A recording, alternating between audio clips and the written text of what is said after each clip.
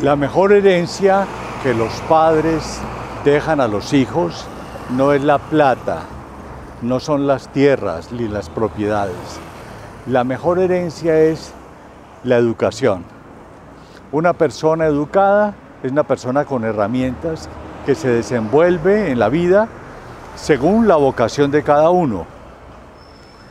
Pero si pensamos en que la vida vale la pena vivirse cuando se tiene plata, pues estamos en una sociedad de consumo donde la plata, así como llega, se va.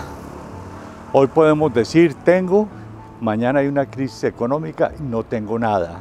En cambio, lo que tiene mi cerebro, el aprendizaje, la educación, la cultura, los valores, esos van conmigo hasta la tumba.